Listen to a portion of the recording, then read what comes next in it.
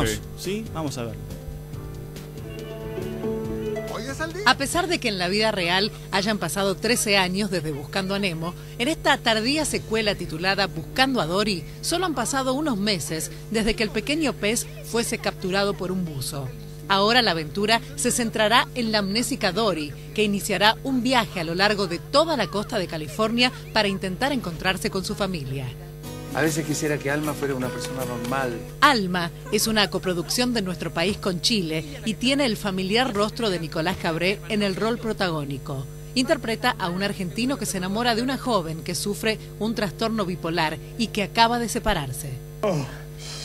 Oh, no se abandona un éxito es una premisa seguida religiosamente en el mundo del espectáculo. Por eso, después de que la original recaudara 270 millones de dólares en todo el mundo, llega Buenos Vecinos 2. Ahora la atribulada pareja se muda junto a una casa de fraternidad universitaria de chicas, donde se hacen fiestas continuamente. Su existencia se convertirá en un infierno. Una apuesta de terror nacional. El Eslabón Podrido está ambientada en un pueblito aislado de unas pocas casas. Allí, una prostituta enfrenta una peligrosa profecía. Si se acuesta con todos los vecinos, morirá.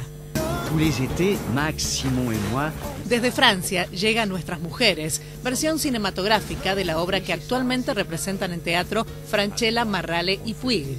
La historia es la misma. Tres viejos amigos han quedado para jugar la partida de cartas habitual, sin embargo, uno de ellos se retrasa inexplicablemente. Tiene una buena razón. Ha asesinado a su mujer.